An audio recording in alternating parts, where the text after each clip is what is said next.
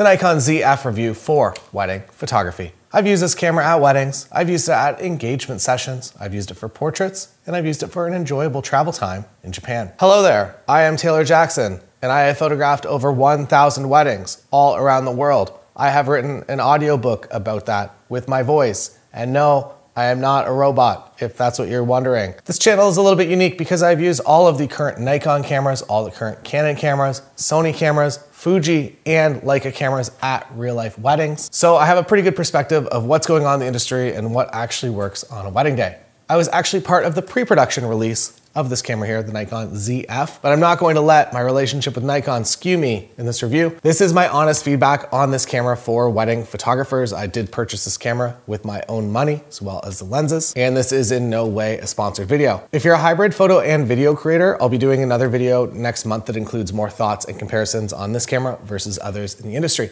Also, if you're watching this before January 12th, 2024, you can still get in on the craziest deal that I've ever done Book More Weddings, now updated for 2024, and it's at the most nuts price ever. And if you get in before January 12th, you also get a ton of bonuses, including my new flash course, which shows my regular flash strategies for weddings, plus this new flash on a string that I'm working with in this video that you're watching right now. The deal also comes with a lot of bonus videos like my road to $100,000 per season as a wedding photographer and how to build out a $300,000 per year hybrid photo video studio for weddings plus other bonuses like my new presets and a lot more. You just got to get it before January 12th. All right, back to the Nikon ZF. I have 15 things to talk about today, and all of them are good.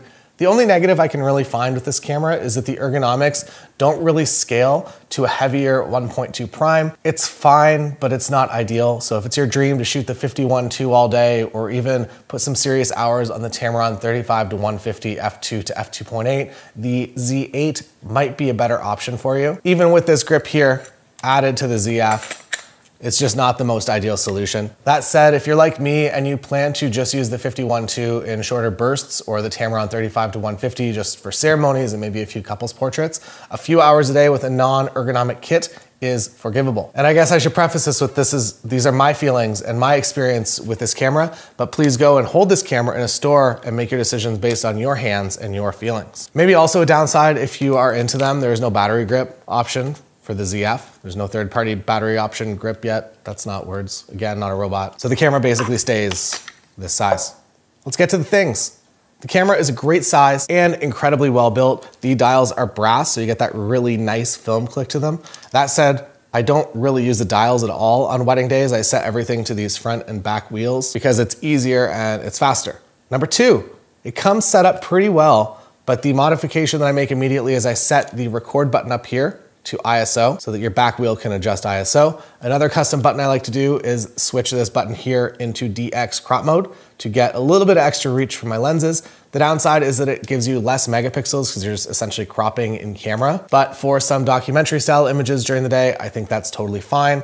Typically, I use this when I get to the end of that Tamron 35 to 150 during a ceremony and I just want to get a closer photo. I use Imagen to edit all of my images, so it's not going to crop creatively for me, so I got to get it as right as I can in camera. Also, if you're not using AI editing through Imagen, uh, I'll put a link in the description go give it a shot. Try it out in January when you have some time off, maybe, unless you live in Australia or New Zealand or anywhere in South America. Uh, but more of the more of the reason to try it out. Uh, use my referral link because if you use that, you get 1,500 free edits rather than the regular 1,000. Um, but it was the biggest thing that changed in my career over the past two years is using Imagen for AI editing.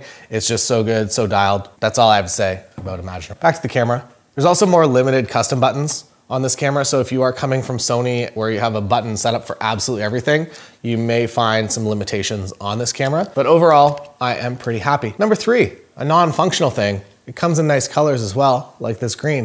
You just have to order it direct from Nikon. But honestly, overall, this camera is really functional and it's also very nice to look at. It's also kind of a conversation starter. People often think that it's a film camera. And uh, if that aligns with your brand positioning, if you are a digital and film shooter, Maybe this just aligns better with your brand overall. Aesthetically, it looks a lot nicer than most of the cameras out there. Number four, let's talk about autofocus. Prior to the Nikon Z9, People really criticize Nikon for autofocus. It's not an issue any longer. So if you're reading older posts and you're, or you're listening to people that haven't used one of the newer cameras, just ignore it completely. I really enjoy the Nikon autofocus in all lighting conditions, including low light. I also really like that you can customize your focus boxes so you can run it at full wide points and use every single autofocus point, or you can make smaller boxes that just kind of ignore. So for instance, if a couple is walking down the aisle, you can make a box or use 3D tracking to only select the couple and just ignore everyone on the sidelines. Overall, the autofocus gets very, very few misses and I shoot from the screen and I'm a little bit chaotic when I'm shooting. I'm just taking lots of pictures and sometimes I'm looking at the screen, sometimes I'm looking at my couple. And I will put the autofocus up there with Canon and Sony in my real life experience at wedding days. Number five, to talk about the screen, it's very nice. The EVF is also good enough but it's not going to blow your mind. Over the year 2020, I was wearing a mask at weddings and I kind of stopped using the viewfinder because the mask would fog the viewfinder up. So I started using just live view and now that is absolutely what I prefer. I would say that 99.8% of the images that I take on a wedding day are from the LCD screen. The cases that I will use the, the EVF Number one, if I'm photographing into the bright sun and I just can't see what I'm doing. Also, the screen is more than bright enough in bright sun, but sometimes you get it right down the barrel and it's just a challenge. Or number two, I'm trying to do something creative with longer shutter speeds, like this photo here in Japan that was completely handheld, or maybe taking a picture with a couple and a waterfall and I want the, the water nice and out of focus. Again, that's how I operate and this camera aligns very well. Speaking of the screen, I personally love that it's a fully articulating screen. The Z8 and Z9 screens are fine for weddings, but I personally prefer a full articulating screen, not only for weddings, but for the wide variety of weird things that I have to do photos and videos of in my career. If it was only for weddings, wedding photography, I don't think that I would have a preference over this versus the tilt. I do really wish that they would do something similar to the Sony a7R Mark V, which is by far the best solution to give you both a tilt screen as well as a flip screen. But I also know the price point on this camera can't include everything. Number six, megapixels. It's 24.5, which is great for weddings. That's that point. Number seven, the files. They're very nice. High ISO is great and the colors are wonderful. And straight to camera JPEGs are also very, very nice. And the RAW files aren't bloated 175 megabyte RAW files for no reason, which means your cards can go a lot further on a wedding day. When it comes to colors, I find them very pleasing. I shoot shade white balance most of the day and it creates really, really nice skin tones. Also, one other bonus with Nikon, I find the files really, really easy to correct in weird mixed lighting environments. And also, I think that they perform the absolute best in backlit situations. I just love the look and the feel that Nikon files deliver, uh, going all the way back to even the D700 back in 2007. Number eight, cards, or dual cards rather.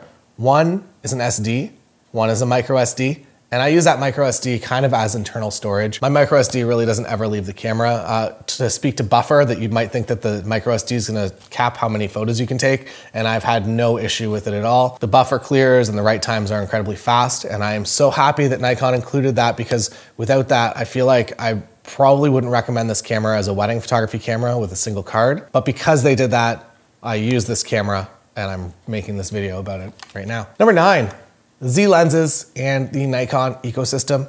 They have great lenses. I love all of the f1.8 Nikon Z lenses. I am also happy that they're open to third parties like Tamron, which brings the 35 to 150 f2 to f2.8 to Nikon. Number 10, adapted lenses.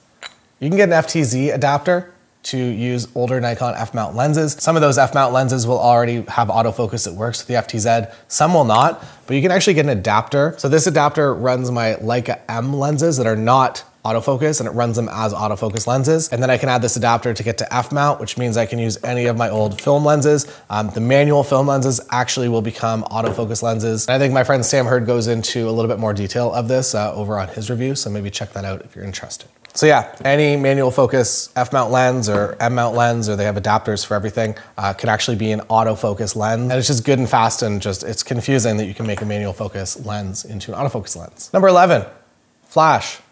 I feel like flash has been left behind by a lot of the companies with the switch to mirrorless. My Godox kit works well with the Nikon ZF, but it's also nice to have the little SB400 as well. It has a small footprint and I got mine used for not a lot of money. It's not going to overpower the sun, but it will make some situations a little bit easier. And it actually is a flash that will fit into your pocket or into a small bag.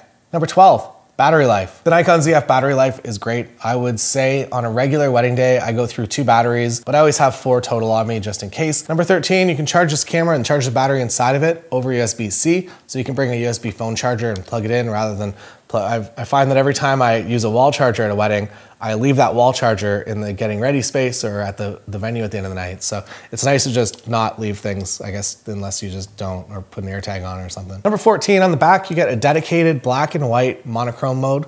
And I know this is becoming increasingly more popular that a lot of people will shoot in black and white mode all day, that your raw files, yes, they're still going to be in color, but in order to see light and see moments a little bit better, uh, you may prefer seeing the preview in black and white. And it's cool that there's a switch for that on this camera. I find that method okay useful on weddings, but I find it a lot more useful or primarily what I'm actually shooting on when I'm out traveling and doing some personal work. Number 15, cost. This is a very nice price point for a camera that does so much. I honestly expected them to release it with one deal breaker feature to not hurt sales of the Z8, but they really didn't leave anything out that I need for weddings. So thumbs up to Nikon. Again, not a robot. It's also really nice that the f1.8 primes are also relatively reasonable in terms of cost, and also there's a lot available used. So you can get a proper pro kit and not break your bank. I don't even know what that term means. I guess the piggy bank, if you're smashing the piggy bank. So all things considered, this Nikon ZF is an incredible buy. If you want Book More Weddings updated for 2024, check out the absolutely crazy price on the launch deal, implement what you can this month because February, I think for a lot of us, is our biggest booking month of the entire year. Couples got engaged over the holidays, they booked their wedding venue in January, and in February, it is time for them to book you. So get all the bonuses if you get in before January 12th, 2024. And as always, 100% money back guarantee if you don't like it. I don't know why I'm yelling all of a sudden. I don't have to yell. I can just increase the gain on my microphone. Any questions about the Nikon ZF, put them in the comments below, and I will see you again on another time.